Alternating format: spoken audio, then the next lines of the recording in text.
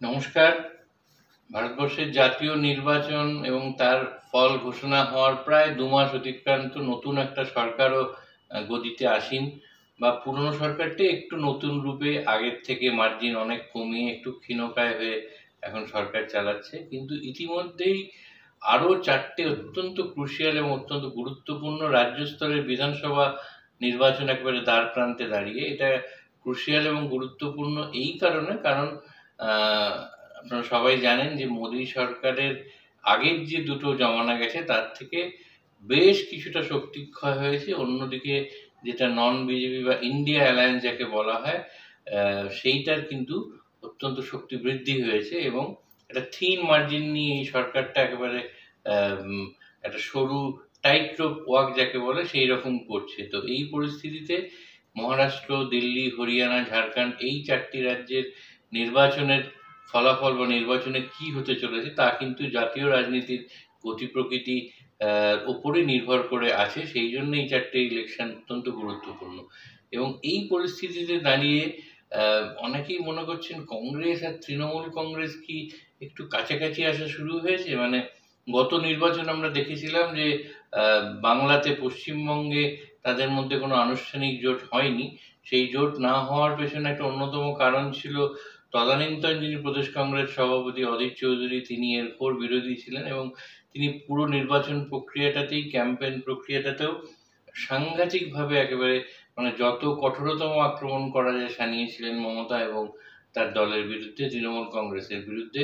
উনি সিপিএম এর সঙ্গে জোট করে এবং হাইকমান্ডকে সেই রকমই বুঝিয়ে ইলেকশনে গিয়েছিলেন। কিন্তু অন্যান্য রাজ্যে যেখানে কংগ্রেস ভালো করেছে, সেখানে পশ্চিমবঙ্গে ভরাডুবি হয়েছে কংগ্রেসের বলা যায়, এমনকি অধীর চৌধুরী তার নিজের যেটা গড় বহরমপুর, সেখানেও একেবারে পলিটিক্যাল গ্রিন হর্ন যাকে বলে, সেই ইউসুফ পাঠান যিনি ক্রিকেটার হিসেবে পরিচিত ছিলেন, তার কাছেই বিপুল ভোটে পরাজিত হয়েছেন। তো এরপরে আপনি এখন এই মুহূর্তের যা ঘটনা, প্রবাহ বা পরিস্থিতি, তাতে কংগ্রেস হাইকমান্ড মোটামুটি এটা পরিষ্কার করে দিয়েছে যে অধীর চৌধুরী এখন ex quote unquote ex president মানে ওই স্টেটাসে রয়েছেন। নানান জল্পনা চলছে অধীর চৌধুরী কি শেষ পর্যন্ত বিজেপিতেই যাবেন কিনা তাই নিয়ে। কিন্তু অধীর চৌধুরী যে রাজ্য কংগ্রেসে এক্স প্রেসিডেন্টের স্টেটাসে চলে গেছেন সেইটা মোরাললেস নিশ্চিত। কে পরবর্তী প্রেসিডেন্ট হবে তাই নিয়ে আলাপ আলোচনা চলছে এইটা একটা দিক। এবং যা মনে করা হচ্ছে ইন অল লাইকলিহুড বা মোস্টলি যিনি হবেন, তিনি মমতার প্রতি একটু নরমপন্থী হবেন, এরমই কাউকে খোঁজা হবে। অন্তত অধীর চৌধুরীর মতো অনর এবং একটা কঠোর অবস্থান মমতা সম্পর্কে নেবেন না। তার কারণ এই দুটো দলই সামহাও বুঝতে পেরেছে। আমি প্রথমে কংগ্রেসের কথায় আসি। কংগ্রেসের দিক থেকে দেখতে গেলে কংগ্রেস কিন্তু এটা রিয়েলাইজ করেছে, কংগ্রেসের সর্বোচ্চ নেতৃত্ব, যে এখানে যে যত বড় ক্লেমই করি করুক না কেন, এই মুহূর্তে মমতা ব্যানার্জির মোকাবিলা করা অন্তত পশ্চিমবঙ্গে খুবই খুবই কঠিন। তারা যে সাংগঠনিক ভাবে শক্তি বানিয়েছেন তার বিরুদ্ধে লড়াই করা, এমনকি সিপিএম এর সঙ্গে জুড়েও সেটা সম্ভব নয়, কারণ দুটোই ক্ষয়িষ্ণু দল কংগ্রেস এবং তৃণমূল। সেক্ষেত্রে দাঁড়িয়ে একটা বিকল্প কংগ্রেসকে ভাবতেই হবে এবং আর একটা দেখতে হবে যে সর্বভারতীয় স্তরে কিন্তু মমতা ব্যানার্জি, মোদী শাহর বিরুদ্ধে একটা বলা যেতে পারে সবচেয়ে মজবুত, সবচেয়ে শক্তিশালী মুখ হিসেবে নিজেকে প্রতিষ্ঠা করতে সফল হয়েছেন। তার যে প্রশাসনিক দক্ষতা সেটাও তিনটে টার্ম পর পরে তিনি ক্ষমতায় এসে বুঝিয়ে দিয়েছেন যে সেই জায়গাটাও তার আছে, তৈরি আছে। এই সব কিছু মিলে কংগ্রেস নেতৃত্ব কিন্তু মনে করছে যে অধীর চৌধুরী এবং তার ওই অনর যে অবস্থান মমতার দল এবং মমতার প্রতি, সেটা দিয়ে আর চলবে না। একটা অন্য কিছু ভাবতে হবে। সেই ভাবনা থেকেই এইরকম একটা ভাবনা এসছে যে যদি তৃণমূলের সঙ্গে জোড়া যায়, তাহলে কিন্তু জাতীয় স্তরে কংগ্রেস অনেক গেনার হবে এবং কংগ্রেসকে বা রাহুল গান্ধীর দলকে যদি ক্ষমতায় আসতে হয় সেটা ফুল টার্ম শেষ হওয়ার পরে বা ফুল টার্ম শেষ হওয়ার মধ্যে, তাহলেও কিন্তু তৃণমূলের সাহায্য বা সহযোগিতা প্রায় অপরিহার্য বলা যেতে পারে। সেটা এই মুহূর্তে এক বছরের মধ্যে হোক, দেড় বছরের মধ্যে হোক বা একবারে ফুল পাঁচ বছর কমপ্লিট করে হোক, এটা খুব জরুরি কংগ্রেসের জন্য। কাজেই তাদের এমন একটা মুখ খুঁজতে হবে যিনি কিন্তু এতটা অনর বা রিজিড মনোভাব নেবেন না মমতা এবং তার দলের প্রতি। আবার যদি তৃণমূল কংগ্রেসের দিক থেকে দেখা যায়, তৃণমূল কংগ্রেস নিঃসন্দেহে একটা স্পেকটাকুলার পারফরমেন্স দেখিয়েছে গত লোকসভা নির্বাচনে। তাই নিয়ে যতই সমালোচনা হোক না কেন, গণতন্ত্রের সংখ্যাই শেষ কথা বলে।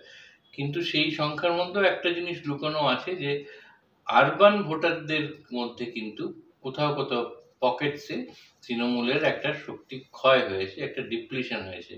তো এইটাকে যদি কভার করতে হয়, সেক্ষেত্রে কিন্তু একটা অন্য দলে যেক্ষেত্রে কংগ্রেসই তাদের জন্য কিন্তু সবচেয়ে পছন্দের ইয়ে বিকল্প হবে অন্য কোনো দলের চেয়ে।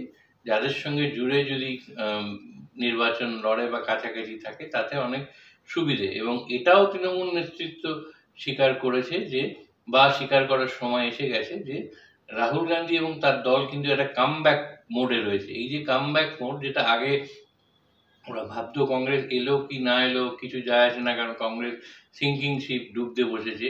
এখন কিন্তু সেই ধারণাটা বদলে গেছে। এবং কংগ্রেস যে শক্তি বাড়াচ্ছে ক্রমশ এবং রাজীব রাহুল গান্ধীর গ্রহণযোগ্যতা এবং জনপ্রিয়তা যে বাড়ছে, সেই নিয়ে কিন্তু কোনো সন্দেহ নেই।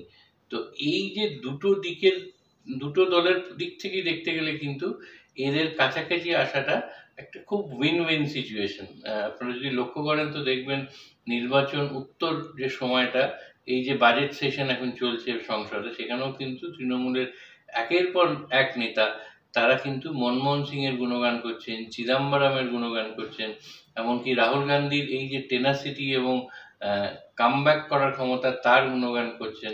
আমরা দেখেছি গত দু তিন দিন ধরেও সৌগত রায়ের মতো বর্ষিয়ান নেতা, কিছু নবীন নেতা, তারা কিন্তু মনমোহন সিং এর যে একটা স্কলাস্টিক জিনিয়াস তার প্রশংসা করেছেন।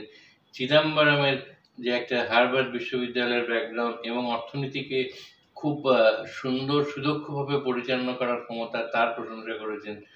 এমনকি দলের যিনি সর্বভারতীয় সাধারণ সম্পাদক, অভিষেক বন্দ্যোপাধ্যায়, তিনিও প্রকাশ্যে অন রেকর্ড একেবারে সোনিয়া গান্ধীর লাইনেই মানে they are on the same page দুজনেই বলেছেন যে এই চারটে যে রাজ্যে নির্বাচন আছে, সেই নির্বাচনে যদি ইন্ডিয়া জোট অবিজেপি দলগুলোর যে জোট, তারা একসঙ্গে লড়াই করে এদেরকে পর্যদস্ত করতে পারে, তাহলে কিন্তু এক বছরের মধ্যে এই সরকারের পতন আসন্ন এবং এই দলগুলোকে, বিশেষ করে কংগ্রেস এবং তৃণমূলকে কিন্তু এক হয়ে থাকতে হবে, কাছাকাছি থাকতে হবে।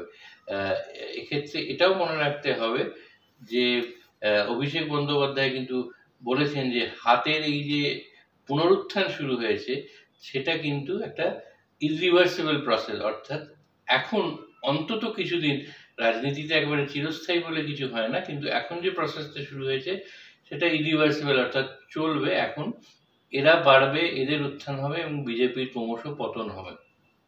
তো এই সবগুলোকে যদি এক জায়গায় ধরা যায়, তাহলে কিন্তু মনে করা যেতেই পারে এই ধরনের যে এই দুটো দল খুব কাছাকাছি আসছে। এবং সেক্ষেত্রে কংগ্রেস নেতৃত্ব যদি অজিত চৌধুরীকে শেষ পর্যন্ত সরিয়ে অন্য কাউকে আনে, যেটার সম্ভাবনা অত্যন্ত উজ্জ্বল, তাহলে কিন্তু মমতা বন্দ্যোপাধ্যায় এবং তার দলের পক্ষেও এ রাজ্যে নিজেদের মতো করে পরিচালনা করা মানে সেক্ষেত্রে হয়তো ফর অল প্র্যাকটিক্যাল পারপাসেস কংগ্রেসটা তৃণমূল কংগ্রেসটাই যেন একটা কংগ্রেসের মতো এরমভাবেই কাজ করে। যদিও অস্তিত্বটা পৃথক থাকবে আবার কংগ্রেসের দিক থেকেও দেখতে গেলে তাদের যে চিন্তা ভাবনা যে অন্য কাউকে অন্য কোনো জোট করে হচ্ছে না, উল্টে যদি আমরা they can ride piggyback on Trinamool Congress, যাকে ইংরেজিতে বলে, তাহলে কিন্তু তারা নিজেদের শক্তি বাড়িয়ে নিতে পারবে। পরবর্তীকালে রাজনীতিতে কি হয় কেমনভাবে হয় তা কেউই বলতে পারে না, কিন্তু এই মুহূর্তে যে পরিস্থিতি তাতে যদি if they can ride piggyback on